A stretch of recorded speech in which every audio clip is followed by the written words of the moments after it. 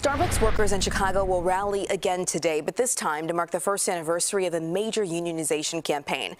Chicago labor leaders are going to join those Starbucks employees at noon to rally in Federal Plaza.